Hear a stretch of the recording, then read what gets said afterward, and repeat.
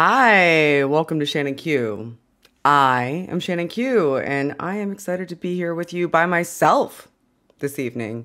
This is the first time in a long time that I've done a stream on my own, and the reason that I am doing a stream on my own is because apparently I hate myself and I consistently expose myself to Stand to Reason's content. And instead of following Paul around the house, Paul, Paul from Paulogia around the house, complaining to him about how annoying I find them and all of the problems I have with some of their content, I thought that, you know, maybe I would I would do it on the Intron web. This is essentially the YouTube of YouTube version of Old Man Yells at Cloud. This is old old lady yells at YouTube instead. So I'm I'm hoping that you guys will find some value in it. It's not something that I regularly do, but I am hoping that it is something that I will do uh, more of. As a content creator, I find that it's difficult for me. I often think that um, if I don't put like six months of research into a video, that it's not worth posting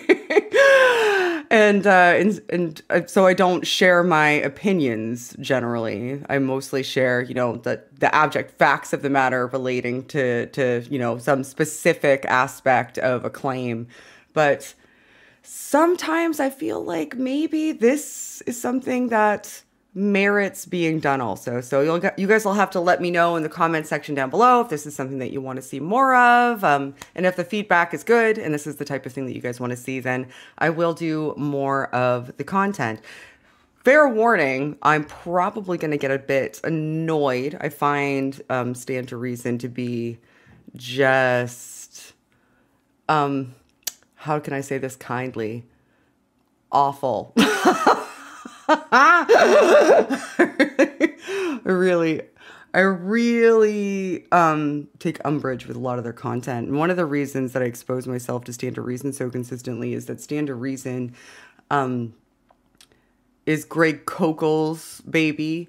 And his book Tactics is something that I dislike because I dislike the idea of teaching people how to manipulate and in- introduce um, rhetorical manipulation constructs into conversations in order to have people see things their way, um, as opposed to having honest dialogue. That's something that I I have a preference for and advocate for, and that's the type of thing that their channel does. So anyway, I came across this video that we're going to be seeing.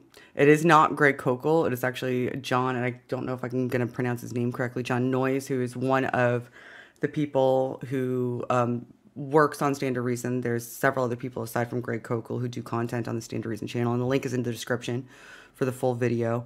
Um, and I've done responses to them before. I did a response to um, Alan Shlemon, who is another one of the Stand to Reason bros, um, who was discussing um, the history of homosexuality in the DSM, and there was a significant amount of correction. So if you if you like this content and have the same sort of attitude towards Stand to Reason that I do, you may enjoy that video where I laid out the actual history of homosexuality in the DSM and why it was removed, etc.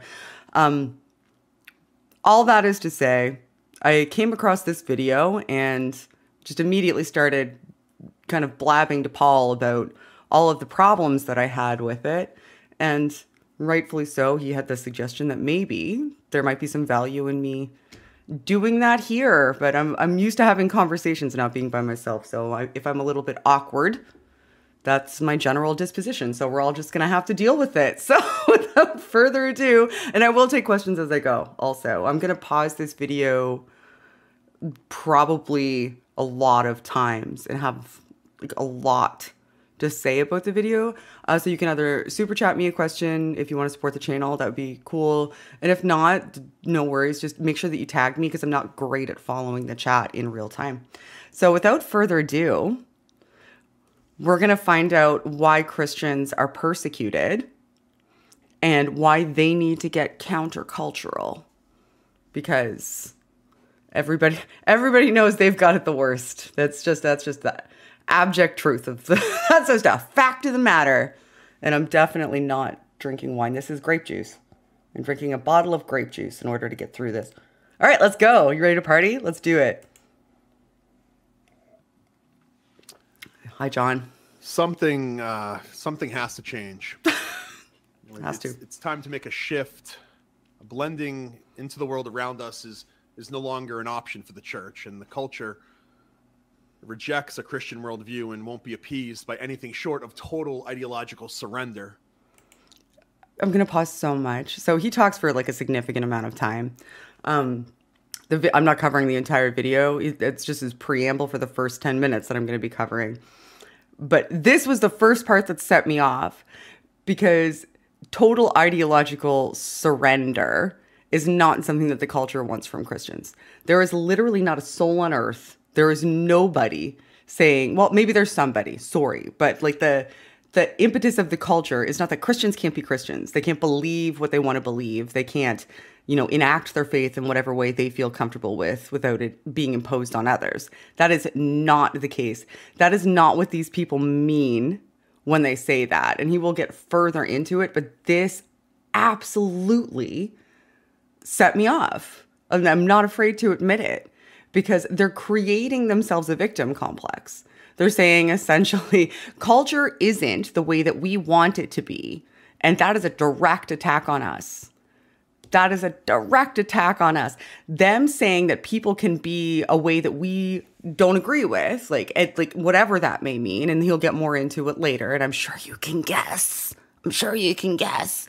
People not being the way that we are living their lives the way that we deem is appropriate um, is now becoming more accepted. And because it is becoming more accepted, that is a direct attack on us. And the only thing the culture wants is our total ideological surrender. So when you extrapolate that, what does that mean? It doesn't mean ide- ideological surrender because nobody's saying you can't be Christian, you can't believe in God, you can't do whatever you think Christians should do. What people are saying is you can't impose yourself on others. You no longer and knock on wood, this isn't entirely the case yet, but you no longer have the reins of society. And now people don't have to live according to your religiously ascribed values and can live a different way. So, what are they surrendering ideologically here? The answer is nothing. They're surrendering nothing ideologically. But what they're what they are surrendering from their perspective is the ability to force people to enact the type of behavior and conform a society or construct a society that enacts their values. And that is not persecution. That's the prevention of, of people overtaking a society that's egalitarian. And we're, we are one minute in. He's, he's about to get serious, though. He's got some very valid points to make, and we're all going to listen just very attentively and give him the benefit of the doubt, like I did. Like I did. So it's time for us to get countercultural, and that's what we're going to be talking about. Welcome to To the Point, my bi white by bi weekly Bi-white. live video. Here we take a look at cultural issues from a distinctly Christian worldview. Um, I want to remind you that if uh, if you're watching this, you can add some comments. We're uh, not going to read comment comments. Don't worry. we're not going to listen to him answer speaking for about questions. Ten minutes or so. Blah blah blah. Uh, I'd love to s- scroll through and, and answer whatever questions that you might. I would love to scroll through as well. And you can leave um, comments for yeah, me. so there's something that's been on my mind recently that I'd like to, to talk about, and that is uh, starting to think about living counterculturally. What are we going to do when the even mean? culture really presses back at us? And I say us, I mean uh, the church, I mean the, the Christians. And um, when I think about living countercultural, uh, Jesus, of course, comes to my mind. course it does. When the? Pharisees asked if, uh, for example, paying taxes to Rome was was lawful, Jesus said, "Render to Caesar the things that are Caesar's, and to God the things that are God's." I think we all know that passage uh, pretty well. According to Jesus, uh, some things actually do belong to Caesar, though not everything Caesar thinks is his. So I'm gonna I'm gonna I'm gonna pause again. I waited longer than I thought I would. That's not gonna last long though. So don't get too comfortable in listening to Jon for long streams of consciousness. So what I think he's trying to say here, and this is just my interpretation, which I think is a fair thing to do in situations like this, because you're putting it out there in the hopes that people are going to interpret it a certain way and receive it a certain way. and he's not being abundantly clear. Like he's not just explicitly stating. He's hoping that people are going to make inferences. So if somebody makes an inference that he dislikes, then he can say, "Well, that wasn't my intention." But blah blah blah. All of that is to say that when he's talking about rendering things onto Caesar that are Caesar's and things onto God that are God's, he's using um, a passage from the Bible in order to reinforce the idea that even though God, you know, through his divine word said in the Bible that we do need to kind of, you know, live within the confines of society and respect governments, there's limits to that. There are limits to that. And the limits to that are open for my interpretation. And I'm going to tell you what those limits are. And those limits in, in this instance are the denial of the ability to impose how society should be structured on that society, which actually I don't know that Jesus would agree with based on my reading of the Bible, but you know, whatever. But I think that that is the groundwork that he is laying. And I'm very excited for it to get to the later part because that's the part that pissed me off the most, which is I think the part that you guys will be most excited to see me lose my mind about. Is so so render to Caesar what's properly his, but more importantly, render to God the things that are God's. You know, and th- that begs the question: what belongs to God? Yeah, exactly. Well, we do. Rendering to God means uh, continuing to be faithful in all areas of life, even when we live in a distinctly anti-Christian culture. How do we do that, though? Well, here's some pointers that I there are some suggestions, I guess, that I have. You know, first, he's got he's got thoughts he's got some thoughts. he has some thoughts and some suggestions about. And d- did you catch what he said about um, what belongs to God? We do, right? And what he's using we as not just Christians. That we means humans, like humanity. And since we belong to God, this is I think the point that he's making, we should we should encourage and construct a society in a way that either encourages people to comport to that or makes it difficult or impossible uh, for people to exist in a happy and content fashion if they don't comport to that. We should be allowed to work to impose that without reprise, without repercussion, without any pushback. And they see themselves now as countercultural because the culture is progressing not enough mind you not enough but the counter is the culture is progressing so that there is more representation of perspectives that are not from his view. And i know that there's christians that disagree with him and thank goodness for that.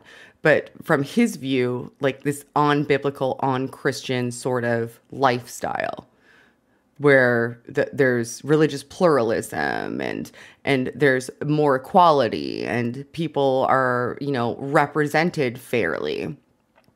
And him, by him saying we belong to God that's it that's him coding that because we belong to God we don't belong to the government. So things that pertain to how people act and behave are things that we as Christians have an, an absolute God given right to have input on and influence over.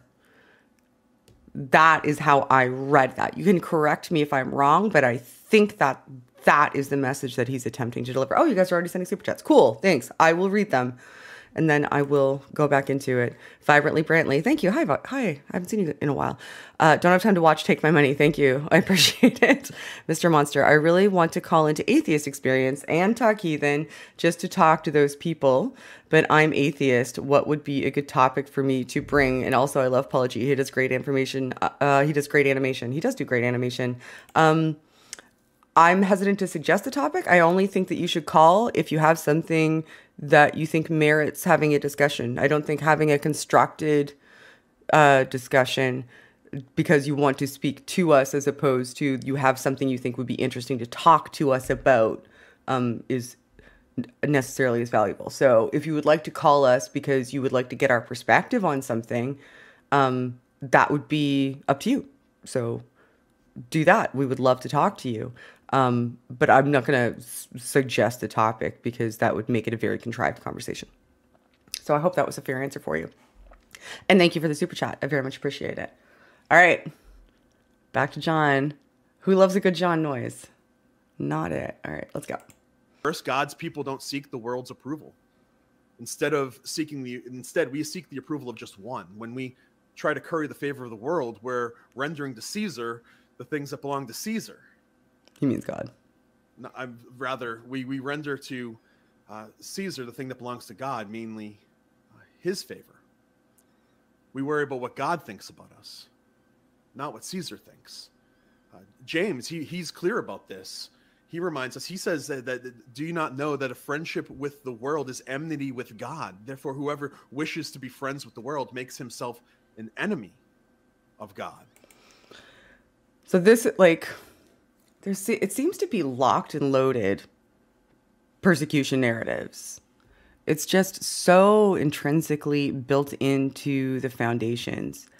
And you see any pushback, any pushback at all that you know, you may have a perspective that's not acceptable within society regardless of the justifications that are provided instead though that, that's just to be expected because that's worldly and christians should expect that they're not to be you know in lockstep with the world because they belong to god. So so so they don't have to that they have a different mission. They have a different mission. And when society tells them that things can be a different way, that's just affirmation. That's that's not something that they have to like look at and critically analyze.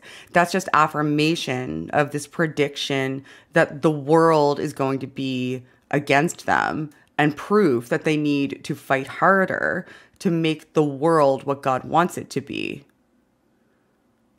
And that it's such a it's such a dangerous perspective because it's so imbued with this pride this pride that and this sort of credulity this indignation this righteous indignation that that they have the right way. And because they have the right way they should be able to dictate that to others regardless of the pushback, because any pushback is just to be expected. That's the type of persecution that's predicted. And him tying it into like the Caesar thing is just talking about, you know, the government and society in general. The government and society in general are are going to be worldly. They're going to be outside of what God wants. And it is their job to make society and the world and the government what God wants. That is what they are tasked with it's such a dangerous like such a dangerous perspective because it's almost impermeable to reason because it's labeled truth just intrinsically without any need for further support. And they could do so much damage to so many people and have having this perspective. All right. You know, um, I guess what I'm getting at here is is that that Caesar he's going to offer friendship, but his offer of friendship it's false. Why? He, he, turns on us the moment we uh, present God's truth. There's no neutrality here, is what I'm saying. No middle ground. No meeting the culture where it's at, hoping to gain acceptance. So the first point is is uh, is don't give Caesar what rightly belongs to God. Secondly, God's people don't compromise on what the Bible says about controversial issues, uh, issues like um, human sexuality. There it is. Who had it? I, I should have put up a poll. I wish you could put up a poll where people could put their own answers in. who who would have been able to guess? who would have been able to guess that all of this, all of this, was about homosexuality? Like if who would have been able to it's it's such a surprise right? Who could have seen that coming? Who could have seen that coming? That the reason that they're persecuted, the reason that society is against them, the reason that they need to be a counterculture is because now the culture allows people, not again, not enough, but allows people who are, you know, trans, who are homosexual, who are just basically not cishet, accepts and allows them to a higher degree than in the past to just exist and be happy. And that's not acceptable if you're God's people. Like, if other Christians, if you're listening to this, I just really, really hope this isn't you. Because one of the reasons I think that he brings up um, compromise a lot here is because some, like, I just recently spoke to um, to a, a pastor, to Colby, um, who's very progressive and pro LGBT. And like, there's a lot of progressive movements within Christianity that are moving in that direction as well into the direction of more acceptance and i would love to to be able to encourage that and you know not exclude people who accept that and and are like that and can see that in the scripture i think that that is ideal but he's working against you he's actively saying that you're basically not a real Christian. You are you're not one of the good ones. He's got it right, you've got it wrong. You are doing damage. God is mad at you. Because you think that it's okay for people to, you know, just exist and be gay. And we can't let that happen because if we let that happen, if the culture allows that to happen, then that's an affront to Christianity. That is us being persecuted. And the more the culture accepts that, the more we need to be countercultural. We need to create a movement to counter the culture of acceptance and make that culture more unaccepting so that it's more Christian. That's what he's saying. That's the wagon that you're hitching yourself to. And he's using a delightful language in order to not explicitly state it, but that's the implication. Ah, whatever. Oh, somebody said that he's not loud enough. I'll make him louder against my better judgment. All right, let's listen to hopefully louder, Jon. Identity, abortion, you know the world doesn't want us to speak our message clearly so it condemns the words we use because of the ideas behind them. When we use words like for example sin rebellion salvation and repentance we're labeled uh, hateful bigots or intolerant or, or worse. We, we might even be accused of committing hate crimes. Okay. Okay. Nobody nobody nowhere ever has said that ever has said that using the word sin is a hate crime. Just using the word sin. He has stripped this of any type of context in order to make it seem like people aren't justified in saying he's being bigoted against LGBTQIA plus people. As if him just saying the word sin or bringing up sins is is somehow just you know him telling the truth and then just doing that just people are just going to accuse you of a hate crime just just for saying sin exists which is just ridiculous on its face it's just ridiculous on its face. He's removing any context. If you're accused of a hate crime, it's likely because you did something overtly bigoted that had that directly damaged a person or group of people. That is a hate crime. But he's attempting to obfuscate it, to make it seem as though the things that they do aren't that bad, really. They're just telling the truth about sin. And and and the poor them, poor them poor, poor them. They're be, they're they're being told that they're that they're bigots that are committing hate crimes, just be just because they said sin exists. That's not the case. You're being called if you're being called a bigot and being accused of a hate crime is because you're attempting to do something or influence the culture towards something or addressing a group of people in a way that attempts to subjugate them and prevent them from living a happy, healthy, and full life because you wish to impose your perspective on how they should live their life on them against their will. It's it's not a difficult concept. It's really not. Don't be a bit leave everyone else alone. There is no one attempting to prevent you from being a Christian. Not a soul. You can believe whatever I will not stand in front of you while you're attempting to walk into a, a church, Jon. I just won't. I never will. Most people won't. 99.99999% of people in the world, regardless of their belief, will not attempt to impede you from practicing your beliefs. What we will attempt to do 100% of the time is prevent your beliefs from impeding others. It's, it's just that simple. It's none of your business. Stay to people's lives. They are not hurting you. Grant them the same respect that you're demanding while saying that you're persecuted, while saying that you need to be countercultural. You're, you need to be countercultural. Why? Because somebody is preventing you from being Christian? No, nobody is. Because somebody is telling you you can't believe what you want to believe? Nope, nobody is. You're being you you need to be countercultural because what? Oh, because you need to you need to and want to create and cultivate a society where people can't do that for themselves. You want to prevent other people from doing the very thing that you're complaining about. Like, uh, how is that not obvious? How? And, uh, like, in what world is that not fucking obvious? Like, practice what you preach.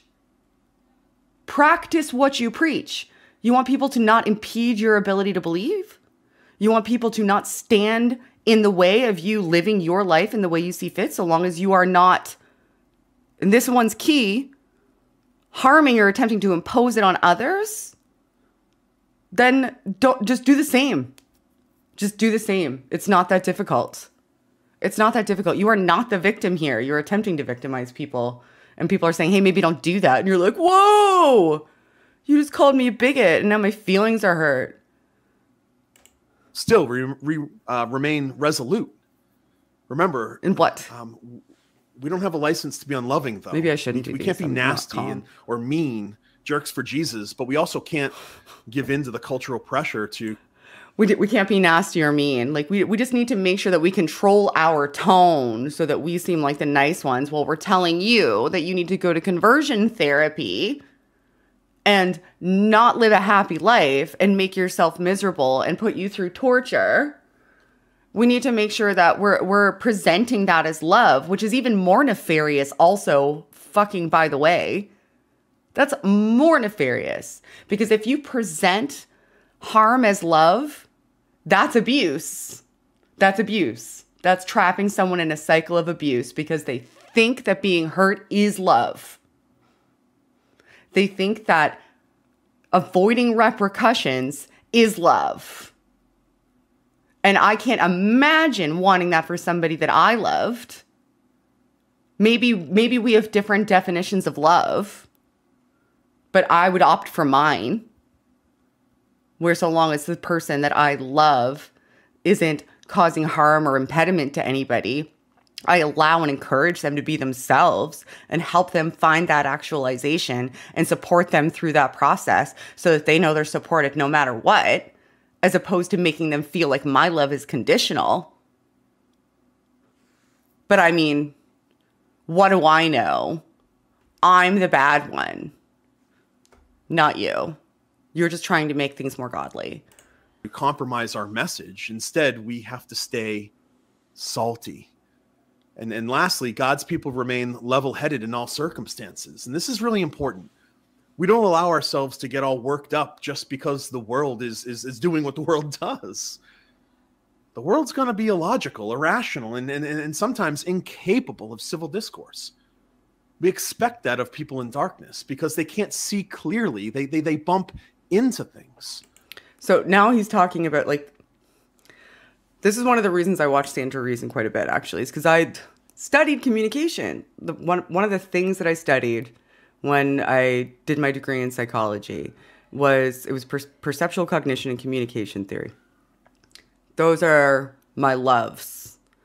And what he is doing now is he is setting the groundwork out. He is saying that if somebody is we need to remain calm so that we can control the perception of us, right? Because if if we're the ones who are calm, and we can even juxtapose this against me right now, right? So I was just not calm. I may have been right, and I think that I probably was, but I used explicatives. I like I said a swear. I did I did a swear. Um, I didn't fully control the undulation of my voice. It was raised, and I spoke in a rapid pace, and I indicated a degree of possible aggression. So, because I did those things, amongst other things, while I was communicating, regardless of the content of what I was communicating, he's now able to essentially kind of poison the well by saying, well, did you, ha, she's one of the people in darkness. We need to be the ones who are calm. We need to control how we deliver messages. And if we are controlling how we deliver messages, then that juxtaposition between us being, you know, the calm, rational ones, while we're saying, you know, you don't really deserve these rights and you're not, you know, a good person and God's going to punish you and all of these bad things and you need to not be yourself and we want to change everything about who you are and we don't think that you have a place in society. You know, if we do that in the appropriate tone, then we'll seem like the rational ones because of the tone that we're using. And because what he is saying is so inflammatory, there's a natural response like the one that I just had. That people are going to meet that with, hey, like, what the fuck? No, like, that's not okay. You can't do that to people. That's unacceptable. And they comparatively will seem like the, the irrational ones because in that situation, one person has a tone, a tone that's controlled and the other person has a tone that seems more emotional and emotional tones are tied mentally um, to perceptions of have, being less rational whether that is the case or not that's just kind of part of the way that we're wired so one of the reasons i watch stand to reason quite a bit is because they have this awareness of communication dynamics and perceptions around communication and they utilize it as a tool. They even wrote a book about it in order to use rhetorical strategies as to manipulate people um, and and some of those can be effective so i wanted to call that out one because I'm, I know that there's going to be times that I'm not able to control my tone, especially since I'm live. I would probably be more capable of controlling my tone if I wasn't live because I would have time, you know, for reflection and scripting, which is one of the reasons I kind of prefer that, um, as opposed to like an immediate visceral sort of off the cuff reaction. But that is worth calling out, and it's worth noting, not just in this video where I'm talking, is being the world.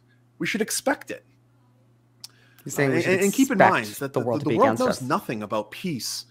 Uh, certainly, the peace that comes with knowing God, the peace that surpasses all understanding. They don't know about trusting a sovereign Lord. When the world acts like the world, remember, we're not dealing with light. We're dealing with darkness. And, and, and when darkness is dark, we have to stay. The dark darkness is the worst. oh, man. When the darkness is dark, that I can't, I can't, I only, I, my preference is the light darkness. The light darkness is the best kind of darkness. The dark darkness is intolerable. I can't stand the dark darkness. Focused on our task. It's our job. It's your job, Christian, to be the light. Whether it's it's foregoing worldly approval, standing firm in our convictions, or remaining calm in all circumstances. Be prepared to render to God that which is God's. And and then when the test truly comes, when the powers of darkness press in on you from the structures of this world, will continue to do God's work God's way. So notice that the juxtaposition that he's using where christians are the light and everybody other than christians are the darkness. And when when the darkness comes in being like anything that's not what they espouse to be in christianity they need to be the light which is a call to action. They need to go out and do something about it. They need to speak up. They need to be the ones who are attempting to make the world godly and that juxtaposition that he's using is uh, is purposeful because they're in the right and everybody else is in the wrong regardless of what they say. And notice again he's talking about tone and cadence when it comes to addressing these topics and you know remaining calm. And just before my my other stream decided to implode upon itself um pardon me um I was going over how these tactics, these rhetorical tactics, are important to call out.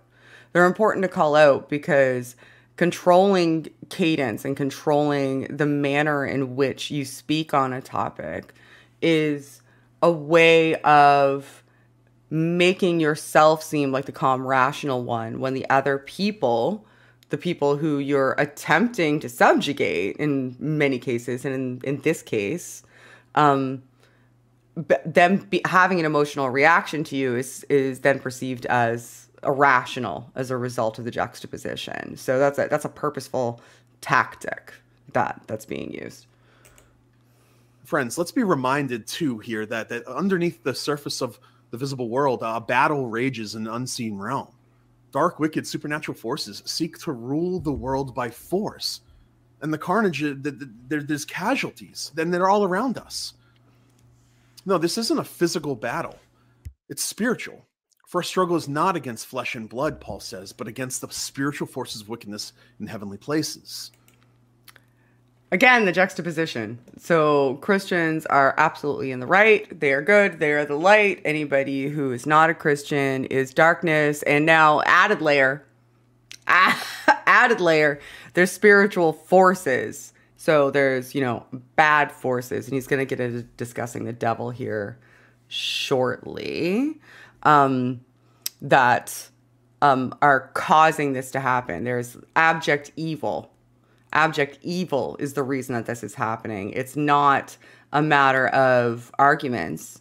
It's not that the person that you are attempting to subjugate or the people that don't believe like you are just, you know, seeing things differently.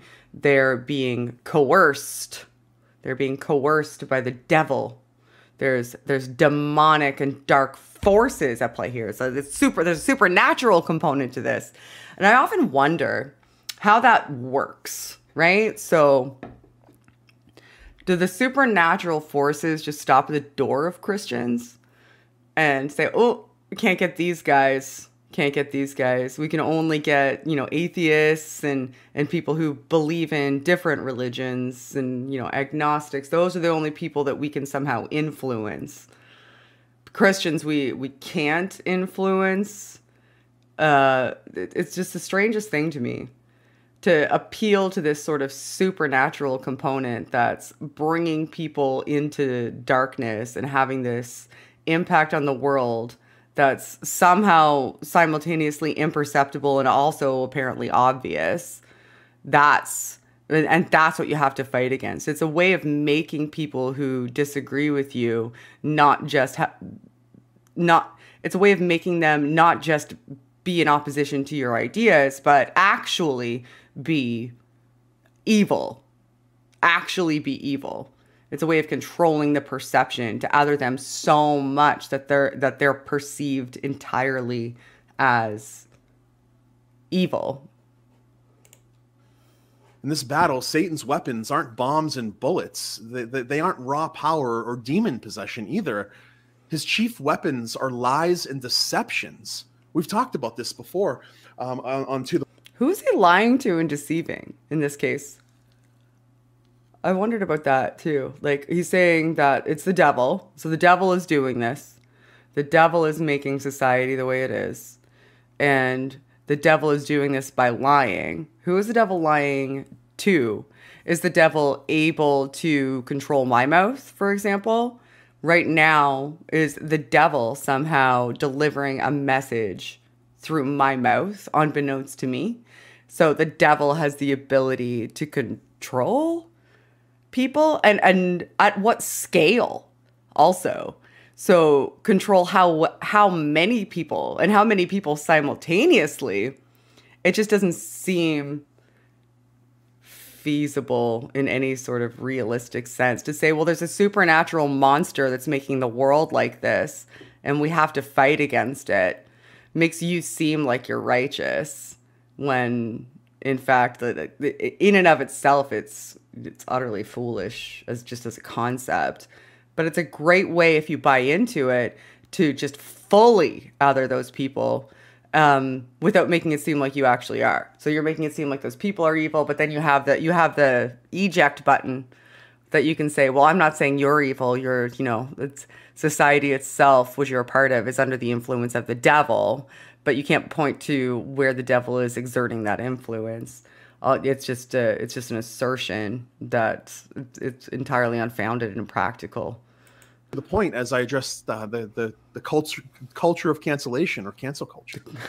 Yeah, sure. Satan can harm us physically. He can, and and, can and, and we see this all over Scripture, and sometimes he does. But but most of the spiritual warfare that we encounter, though, it's not wep- It's not power encounters against his Satan's physical attacks. Instead, it's it's uh it's truth encounters against his spiritual lies. Who's he lying to and how? So, so Explain yourself. In response, we we don't respond with with uh, spiritual chest pounding, but instead we we we respond with a with a gracious and sound and and measured proclamation yeah. of the truth. Again, he's talking about controlling. See, uh, how have to remember who Satan is. You know, Jesus, he calls Satan a, a liar and the father of lies. He says there's no truth in him. He warns us uh, that our battle is against a, a deadly foe who lies, cheats, and steals. So, I'm, I'm, I'm just, I'm again, I'm not clear who he's fighting against here. He's fighting against the culture and the problem with the culture is that they're now accepting more so of people who are trans and people who are gay and people who aren't Christian and is becoming more pluralistic in that fashion.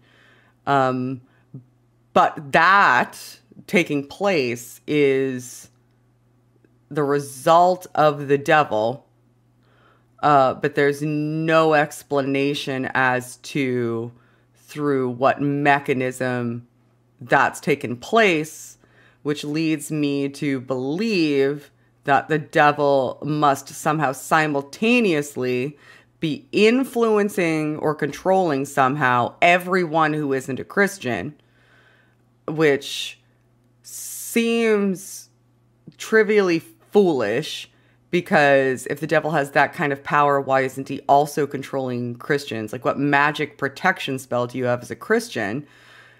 Like, I'm a I'm a deconverted Christian, for example. Did I have did I have the magic spell of protection up until I stopped believing? Was the devil able to make me stop believing? And if that's the case, why isn't he able to make you stop believing? Or did I stop believing organically? uh, because I couldn't rationalize it anymore. And then now I'm I'm I'm subject to the influence of the devil because I lost my magic protection spell. Like none of this makes sense to me, but it's a fascinating sort of scare tactic um, that that Christians use consistently while they're simultaneously othering people because it's a way of like I said labeling people as the most evil thing that a Christian can think of, while simultaneously having the out of saying, well, I'm not saying it's you. I'm actually saying, you know, you're just part of a culture that's been cultivated by the devil. But then I don't actually have to explain how it's been cultivated by the devil. Um, I can just assert it And that's terrifying enough to Christians that they'll see you as evil, but I have the out of not saying you're evil myself, just, you know, implying it by affiliating you and people like you with the devil. You see, the devil's deceptions, Paul calls them schemes in Ephesians 6 11. More devil. Uh, and they're sophisticated strategies he uses to, to gain a foothold, to exert his influence over people. How? Satan, he, he preys on those not ready for combat. And, and his plans, it, it's working. We just have to look all around. Currently, the culture's. Oh, so that's interesting. So he's saying the devil pl- preys on people who aren't ready for combat. So maybe that's a susceptibility metric. If you're if if you're a Christian who's ready for combat, who's willing to take up arms and like join him in his fight, then you aren't susceptible to the devil influencing you anymore. Um, so the only way to, you can't be a passive Christian. You can't just be a Christian who believes and minds their own goddamn business. You need to be you need to be a Christian who's willing to take up arms with him in order to reduce your susceptibility to the devil. And that also means that he can vilify and affiliate other Christians, other practicing Christians who affirm that they're Christians. He can affiliate them with the devil too because he can now say, well, they weren't willing to take up arms. The devil is influencing them. The only people the devil isn't influencing are people who are, you know, arm in arm with me in the battle. Interesting tactical choice. In the crushing grip of, of, of three of Satan's cons moral relativism, religious pluralism, and, and sexual progressivism. Okay, so we already knew he thought sexual progressivism, sexual progressivism. We already knew he thought that that was, you know, Satan's work and bad. Like he's he's established that pretty thoroughly. And moral relativism, we know most Christians, like even even Christians who aren't like him, are gonna like espouse to that. But the interesting thing to me was that he said religious pluralism, and this set my brain like going in circles because I couldn't figure out for the life of me how that could be the case. So he's saying that the devil um, is the reason for religious pluralism, which means, you know, the fact that more than a religion exists that people believe in. However, Jesus was Jewish. Jesus was Jesus was a Jew. So that religion not only existed before Christianity, but the Lord and Savior of Christianity believed it. But it is a very separate religion from Christianity. So it how what did the devil do? Did the, did, did the devil make Christianity then? Did the devil make Christianity like that? Because that's the only way that it makes sense. Because the Abrahamic monotheistic religion prior to Christianity was Judaism. So Judaism predates Christianity. So Christianity coming into existence, like even if you ignore all other religions that predated and coexisted with it, created a pluralistic version of Abrahamic monotheism. So if he's saying that the devil is the reason for religious pluralism, then it would st- it would stand to reason that Christianity is the work of the devil if you follow his logic. It doesn't make any sense. It just doesn't make any sense. I, I understand what he's getting at. He's getting he's trying to say that any religion that isn't Christianity is the work of the devil. They're bad, they're evil, and you're trying and, and the devil is deceiving people. But I don't think he thought it through. I really don't think he thought it through. because Jesus was a Jew. Sorry, I choked myself because it just seems I don't know, maybe I'm alone in that. But that's that follows in my mind. I don't know, at me and or comment in the in the comment box down below. But that seems to me to be what he's saying. The devil's responsible for religious pluralism, ignoring all other religions that predate Christianity. Judaism predates Christianity. The invention of Christianity created a pluralistic version of Abrahamic monotheism. If the devil's responsible for pluralism, then then what? I don't think he thought that through. Anywho, whatever. That one just struck me as funny. We are we already know the moral. I'm not going to get into the moral side of things today. That's I, I I don't have enough time to get into talking about that. That's a whole nother ball of wax. And he will talk more about all of our all of our sexual misconduct very shortly. So don't worry, he's getting through it. You know, the, and, and we see the results. The results of his schemes are everywhere. For example, um, many of the commercials during the Olympics this year featured gay, lesbian, transgender He's about to fly people off the in rails. relationships. Quiet lies of Did you hear that? Did you hear that? Many of the commercials during the Olympics they they they told us the trans people exist and gay people and that sometimes they have relationships like that's the devil. Happy people minding their own business in relationships. Wow. That's whoa. The world is evil. Satan creeping into the homes on prime time television. Amazon Prime, Netflix, and, and, and Disney all feature movies depicting similar themes. You know, and, and no one's out of reach. Over it. Tragically, even our children are targets. And in 2017, Disney introduced a, a lesbian couple in the cartoon feature Doc McStuffins. And last year, I was watching if you had given me a hundred years, a million guesses about where this was going to go, I would not even have come close to predicting that the devil was influencing the production team at Doc McStuffins. not just no chance. There's just, there's just no chance that I that I would have landed Doc McStuffins is where this is going. Zero percent chance. And it's just like, so what? Like, I don't understand why. Well, I kind of do understand why. It just annoys me. Um, people like Jon here are so upset that people who are gay and trans are just depicted as existing as a component of material reality um, in the realm of entertainment, which is attempting to depict the realm of material reality. Why wouldn't they? Why would they not? Why would they not? Unless you were actively attempting to suppress that so that people weren't exposed to the fact that they exist as a component of material reality. That is that is the only reason.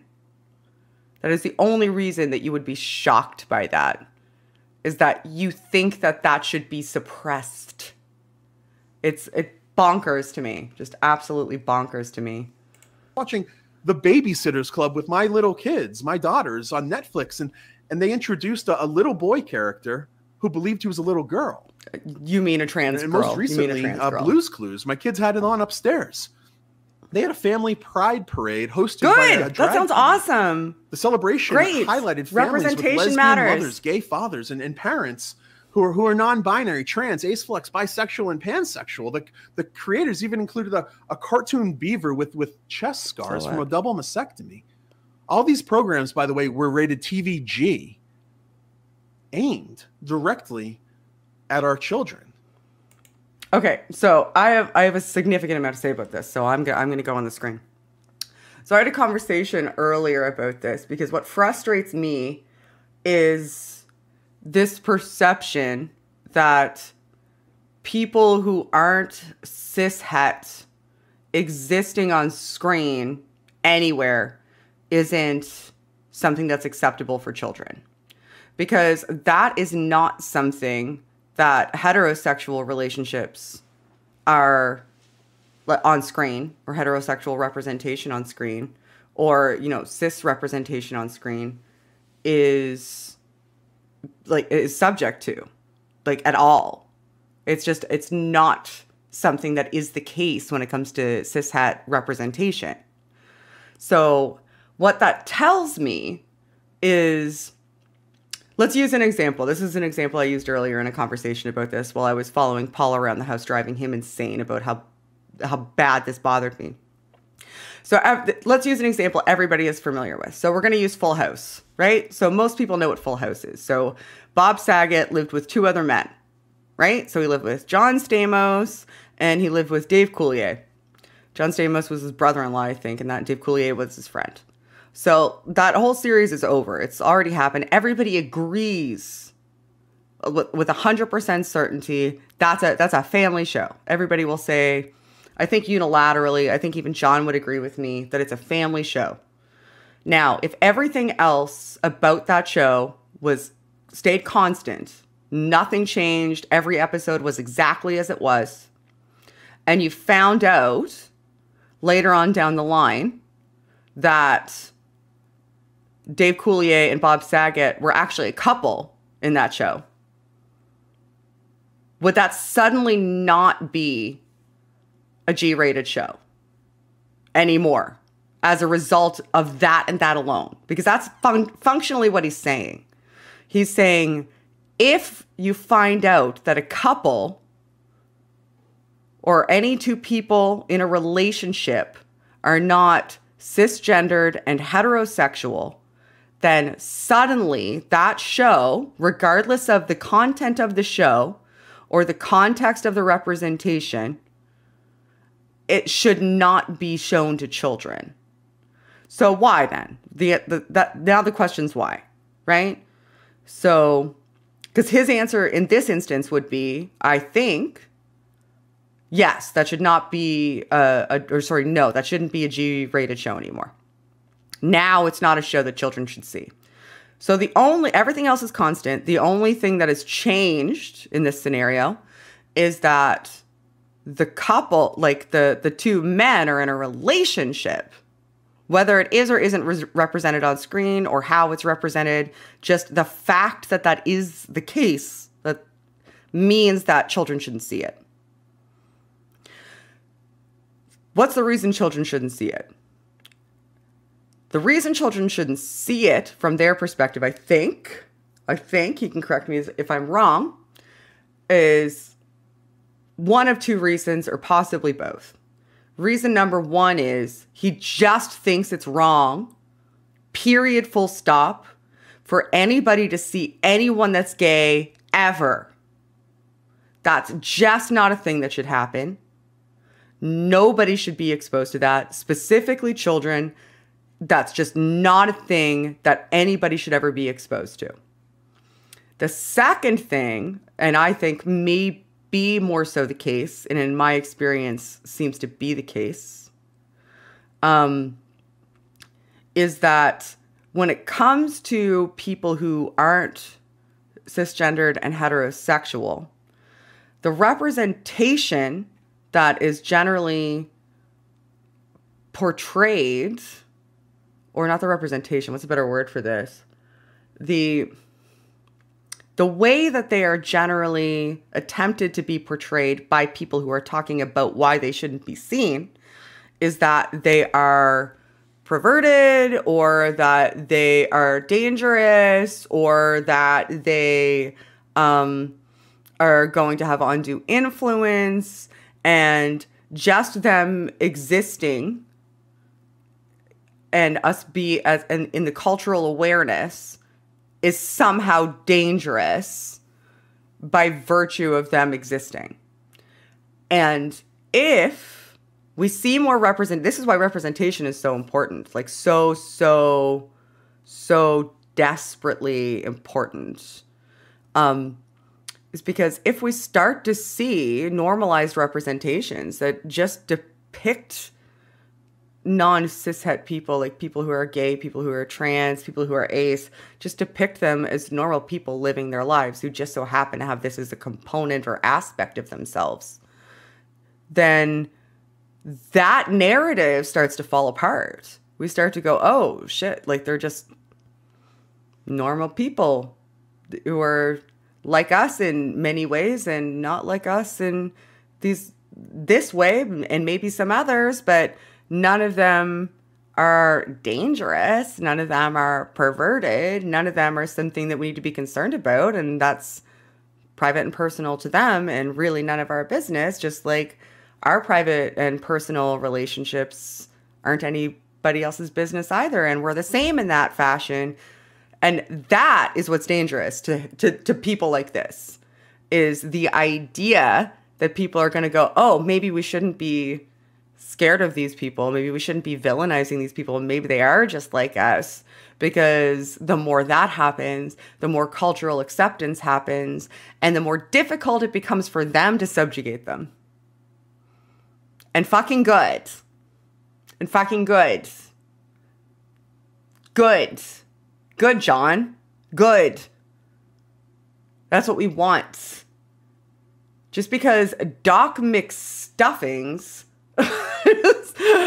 Doc like just because a cartoon child doctor um had a gay couple on their show doesn't mean that all of the kids are going to be the gay also. So like that that's an unwarranted fear. What it does mean is that if a child who is watching it is gay um they go oh, maybe I don't have to be so afraid of myself. Maybe some of the messages I'm receiving about people like me aren't actually true. And maybe there is a way that I can be happy and exist in society um, as myself. Wow, that's cool. And like, why wouldn't you want that? Like, why wouldn't you want that? Why are you so dedicated to making sure that people who aren't like you feel as though they don't have a place in a society where you exist. But and you and you call yourselves the moral ones. Uh, just dumbfounding to me. It's utterly dumbfounding to know you're actively harming people and doing your best to make sure you perpetuate it while saying, We're the light and they're the darkness, while talking out of the other side of your mouth about who is and isn't evil. Get a grip. You see, the, why do I bring these up? Well, the, the normalization of, of gay and lesbian parents and transgender children is, is just one example of the kind of schemes schemes Paul talks about. Schemes. Well, let's go deeper. So the devil made them gay, then I guess, because the schemes were the devil, right? We're, we're this is a callback because the devil does schemes and is a liar. So seeing gay people exist and seeing trans people exist and just letting that happen and being okay with it because they do exist and it is okay is a scheme. It's a scheme. It's a scheme. So who the, the, but from the devil. So did the devil make them gay then? Did the devil make them trans? Did the devil make Doc McStuffin's writing team like put the put the characters in? Like where where does the devil factor in here? Like it's just so many layers of foolishness that I don't understand. I like I just I don't understand how anybody anybody listens to this and goes, "Yeah, that makes total sense." Yep. Yeah. Uh huh. That's evil. You're right. The devil is totally controlling the pen of the writing team at Doc McStuffins so that so that what like do, do you actually think that children seeing representation is going to make them go maybe i'll be gay i wasn't going to be gay before but now that i know that the that there's a character on doc mcstuffins who's gay then now now I'm gonna be like it's freaking ridiculous. It's uh, like it's so foolish on its face, so foolish on its face. Well, how how do we stand firm in our convictions and in a way that's pleasing to God? How do we resist the lies and deceptions of Satan? Well, Paul, don't be gay. Like I emphasized this before in the stream that crashed and burned. It's like just nobody is telling you how to live your life as a Christian. If you want to not be gay, and not have abortions and be a Christian, there is absolutely no one trying to stop you. Like, none of us are standing in front of you going, you can't go into church. Go marry that dude over there. And then I would like you to become a woman. And I don't want to hear another word about it. That is not a thing that's happening to anyone. You you're bonkers. I, I calmed myself down. I had to control my words for a moment. I was about to use a word that wasn't kind, but I pulled myself back in. That is not what's happening. What is happening is there's a version of that that you're doing.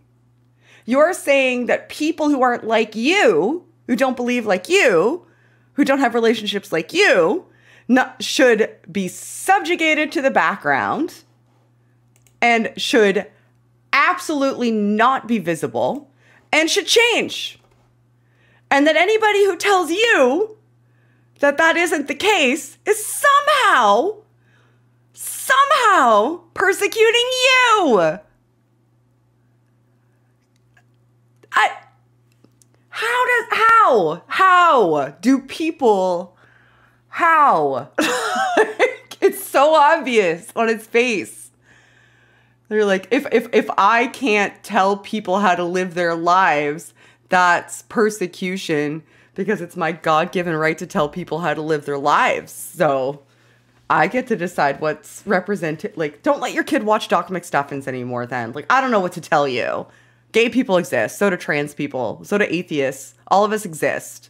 And none of us are stopping you from being Christian. The only thing that will stop you from doing is telling us how to live our lives. One of us is doing those things. One of us is trying to tell somebody how to live their lives. One of us isn't. Which one could it be? Oh, he actually tells us. Uh, we read Ephesians six. See, Paul Paul tells us how to combat the lies of the enemy that, that hold the rest of the world captive. He says, therefore, take up the full armor of God, so that you will be able to resist the evil day, in the evil day rather. And having done everything, he says, stand firm. You see, this is Paul exhorting the Christian to stand firm in opposition to the enemy. The enemy. We're the enemy. Everybody's not them as the enemy, and they have to stand firm against it. They literally have to fight us. They literally have to tell us how to be. This is why I sometimes like he's done by the way, so now you just have to deal with me. I sometimes go back and forth about making some of this content. I legitimately and seriously do. Because there's aspects of the atheist community, even itself, that I'm not a fan of, right? Like there's some misogyny in there too. There's some transphobia in there too. There's there's there's all kinds of things that I don't like there. So it kind of feels like, you know, clean up your own house before you do anything else. And I uh, but this stuff we're so busy focusing inwards policing sometimes too that we can lose track of the fact that we have like a common goal which is that this type of rhetoric has a stranglehold on society.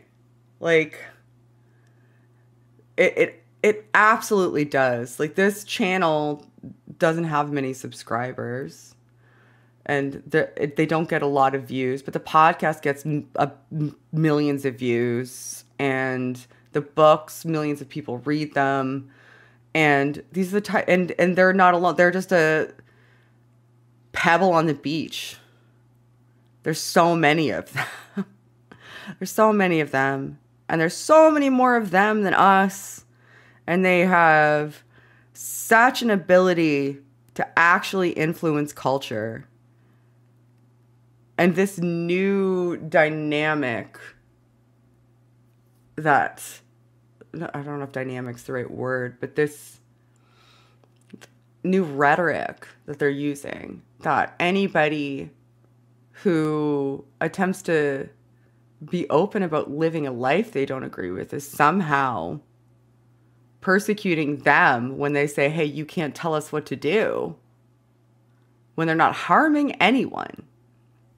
Is that somehow like impinging upon their religious freedoms? It, it has material repercussions.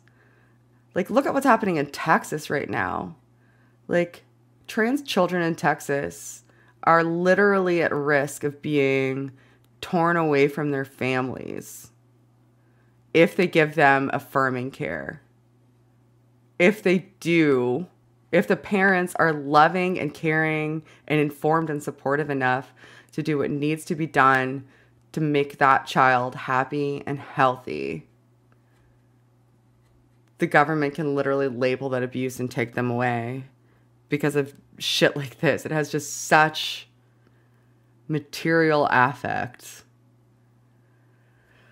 Uh, I just. Maybe this is why Paul asked me to stream instead because I like it makes me want to cry. it makes me want to cry. Ugh, it sucks. Like it just it literally sucks and I don't understand.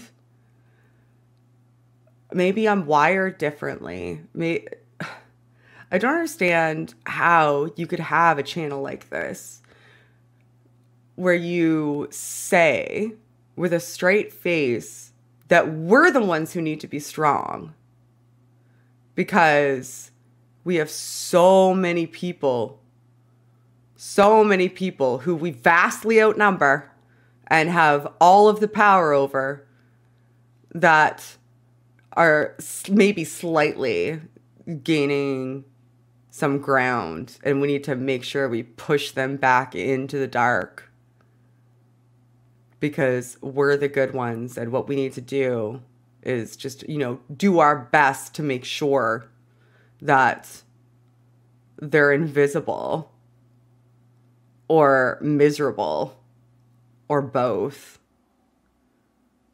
and then go to bed at night and like sleep soundly like i couldn't deal like I just couldn't deal with it. I couldn't. I could not deal with it. Uh I couldn't. I appreciate you guys. Thank you so much for coming for this experiment. I hope that there was some value with it and that you guys enjoyed yourselves and were good to each other in the chat. We like to cultivate a good community here. Don't be jerks to each other. That's my one rule. Um, and as always, everyone, help elevate the discourse.